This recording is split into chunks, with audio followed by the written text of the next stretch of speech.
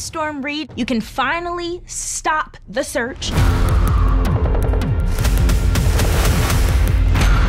We basically shot this entire movie on the computer, which was really challenging and something that I had never done before. Storm brings this gravitas to every scene, but at the same time can also just be a teenager.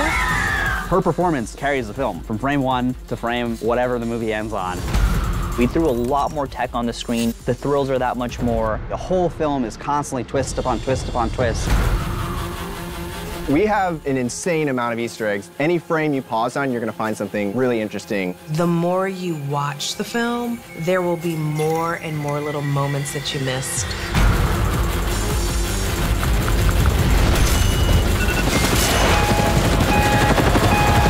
Add what's been missing from your collection.